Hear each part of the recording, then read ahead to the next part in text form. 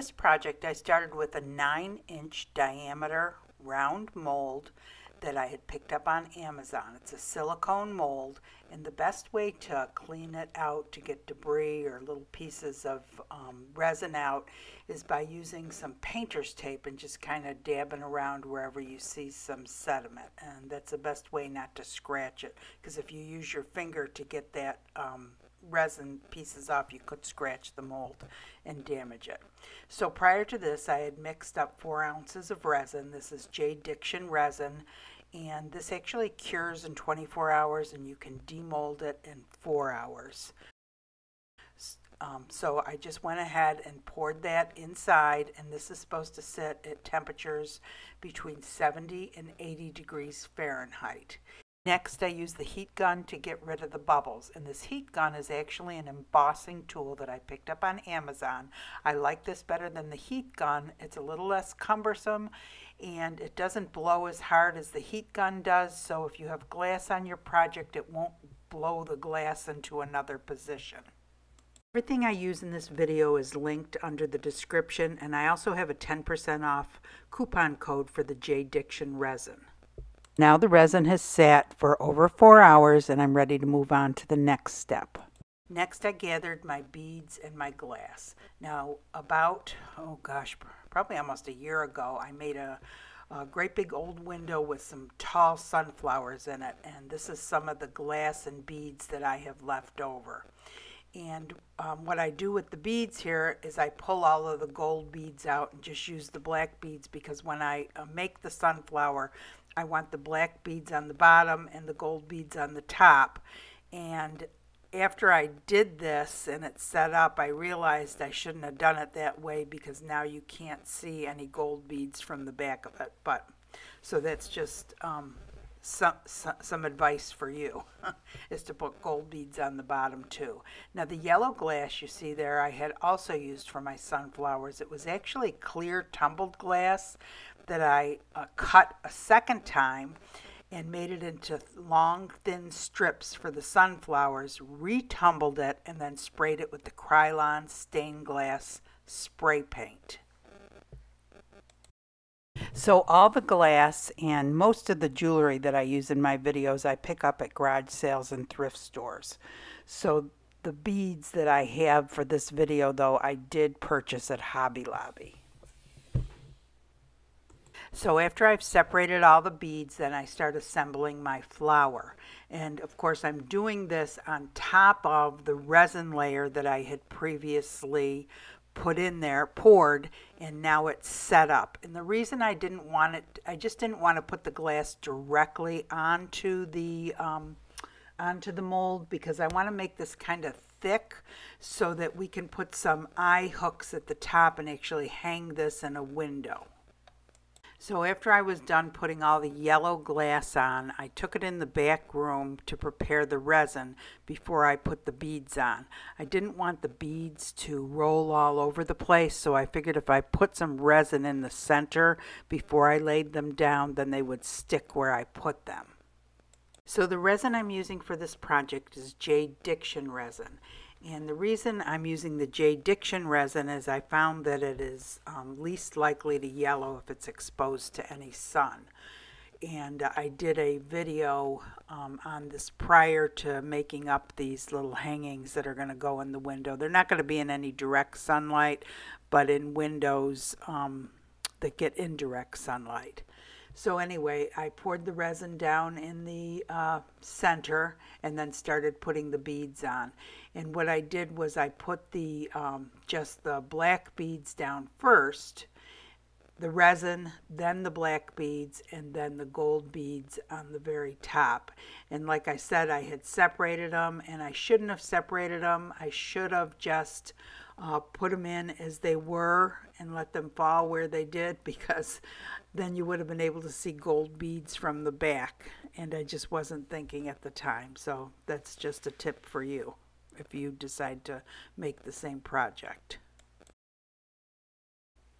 So once all the beads are in place and I've drizzled resin over it, then I continue to drizzle the resin over the pieces of glass. And I believe I use another four ounces maybe even five ounces uh, to finish off the project. Like I said, I want the two layers to be fairly thick so that I can put eye screws in it and hang it.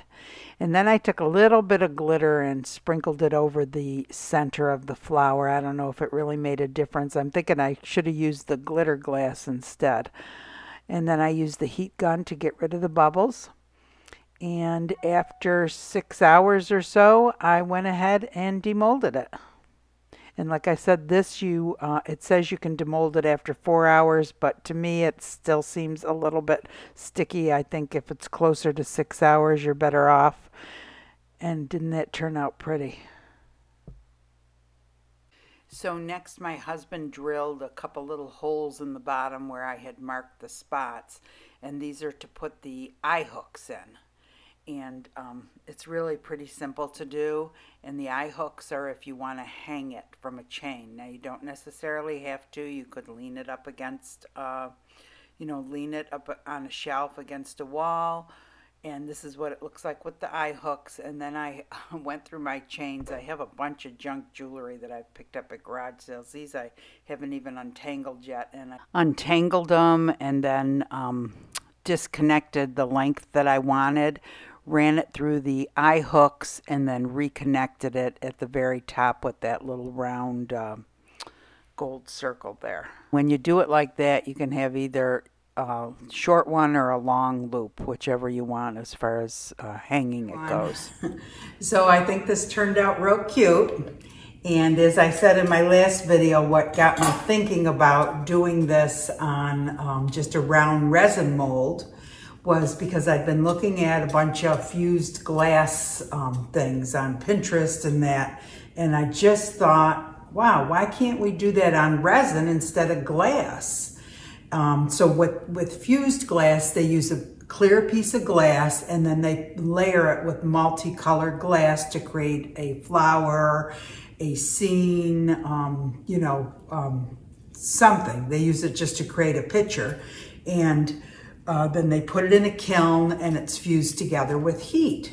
And I thought, well, that would be cool. We could do something like that on resin without a frame and it would look, you know, kind of like fused glass.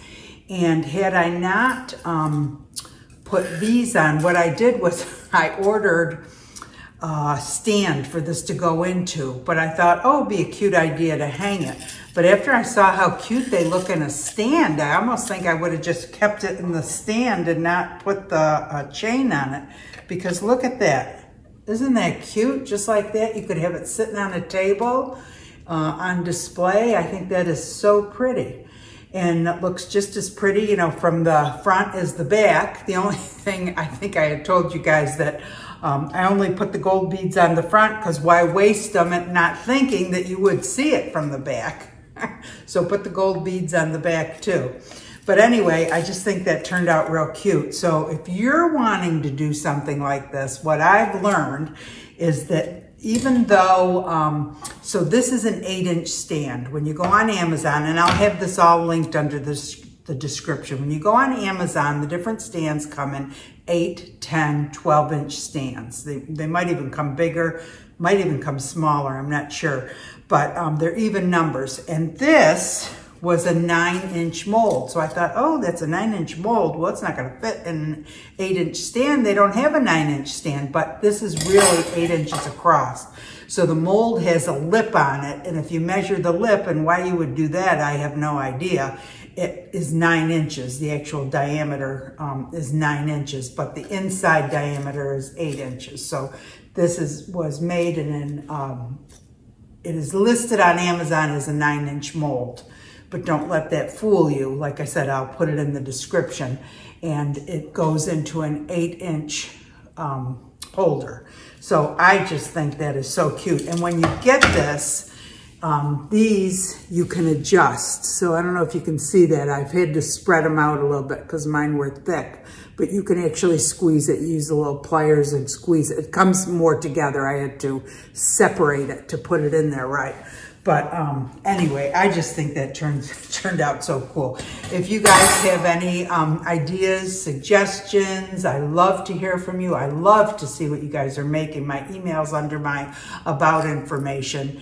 And um, If you, uh, if, if you enjoyed the video, go ahead and give it a, a thumbs up, a like, that really helps the channel.